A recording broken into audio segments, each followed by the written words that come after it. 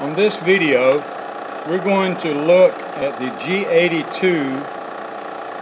center drill cycle using the P-Dwell. We would dwell for a couple of seconds just so you can see what dwell is.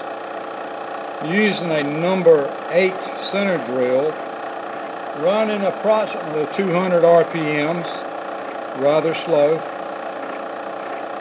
The larger you drill, the slower the RPMs will be.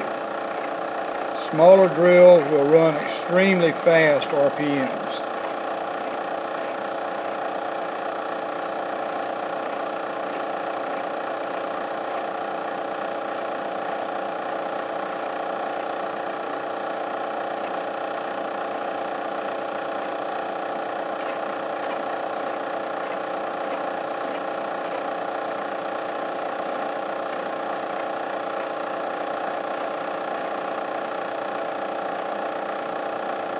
Okay, we're getting down to our depth. We're going to dwell there for one, two, three seconds and see what it looks like.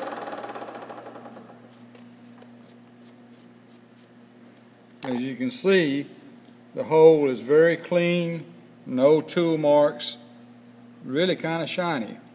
And that's a really good looking center drill hole using G82 with the P-Dwell at the bottom of the cut.